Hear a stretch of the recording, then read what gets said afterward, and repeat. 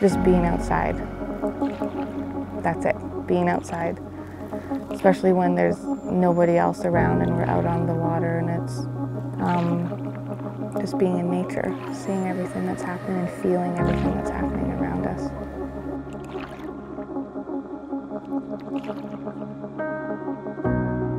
We're on the Powell Forest Canoe Route here in, uh, in TFL 39 Block 1. And what we're, what we're looking at today are the upgrades with cedar that we're doing to the, uh, the canoe route and the portage. It's just, it's gorgeous. Like, it's a beautiful place, not too many bugs, um, really friendly people, great paddling. And that's why people travel from all over the world to come here and do this. It's kind of a full body workout, you know, you're getting to carry heavy things on your back and on your head and it really makes the physical challenges that much more doable when you have a nice solid group of people and you're all suffering together. We're bonded through pain. what you're going to see is you're going to see boardwalks, you're going to see docks, you're going to see these nice little canoe rests and uh, and that was one big part of the upgrades this year was changing all the all the canoe rests over from the old guard and it was all starting to fall apart to the what we see here today which is all the new stuff here uh, just replacing a lot of the decks as you can see here this is one it's been here for a long time eh? these things been here for like 40 years some of them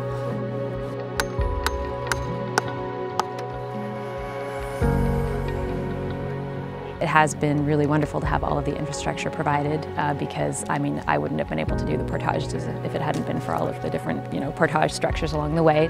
The portage route is kind of neat because it, it connects a whole bunch of little lakes. There's a couple of big lakes on either end and it's a nice five-day trip to go around. And, uh, and what you see on both sides through the valley is you, is you see the second growth timber that's coming up. It's Douglas fir, cedar, hemlock mixed in. It's actually really nice second growth. It's definitely, it's different if you've never seen a cut block, but here you can tell that there's actually intention put into the logging because there's like, there's cut blocks that are made, but then there's left pieces to avoid erosion, you know, there's all of this stuff where you have regrowth happening right next to fresh cut blocks. And, and you can tell it's, it's a management piece that has had a lot of forethought. I think it's important that, that people do see forestry, you know, because it happens. It's, it's part of BC, so. Like being able to get out into this amount of wilderness as easily as we have, that's been really wonderful. It's also nice to know that there's, should something go wrong, there's access everywhere. That's kind of a nice peace of mind. It's been really affordable too compared to a lot of, you know, wilderness trips as well, so that's been good too. Yeah, lots of people coming through. It, uh, you don't know that until you're up here, how many people are actually using it. It's very interesting.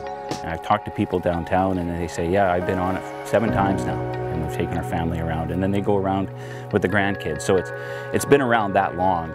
You know, I was going to put it on Facebook. Say, people, look, this, this is my uh, office. Where's yours today? You know, yeah. So it's an incredible uh, opportunity to be out here, you know, with uh, the crew, and uh, and it's you leave a legacy, eh? It's nice.